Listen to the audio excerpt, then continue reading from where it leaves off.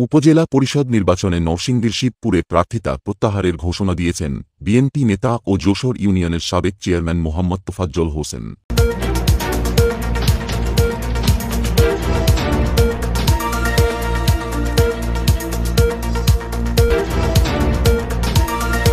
নরসিংদীর শিবপুরের তৃতীয় ধাপে উপজেলা নির্বাচন অনুষ্ঠিত হবে চলতি মাসের উনত্রিশ মে। জনগণের গভীর আন্তরিকতায় নির্বাচনে প্রার্থী হলেও নির্বাচনে প্রতীক বরাদ্দের আগেই দলীয় সিদ্ধান্তকে সম্মান জানিয়ে প্রার্থিতা প্রত্যাহারের ঘোষণা দেন যশোর ইউনিয়নের জনপ্রিয় সাবেক চেয়ারম্যান মোহাম্মদ তোফাজ্জল হোসেন। শুক্রবার সকালে নরসিংদী প্রেসক্লাব মিলনায়তনে অনুষ্ঠিত সংবাদ সম্মেলনে এই ঘোষণা দেন তিনি। সংবাদ সম্মেলনে তিনি বলেন, একাধিকবার নির্বাচিত চেয়ারম্যান থাকার সুবাদে নানামুখী উন্নয়ন কর্মকাণ্ড হয়েছে যশোর ইউনিয়নে। ইউনিয়নটিতে ব্যাপক উন্নয়ন সাধিত হওয়ায় আমাকে উপজেলা চেয়ারম্যান হিসেবে মনোনয়নপত্র জমা দেয়ার জোর দাবি জানায় সাধারণ মানুষ।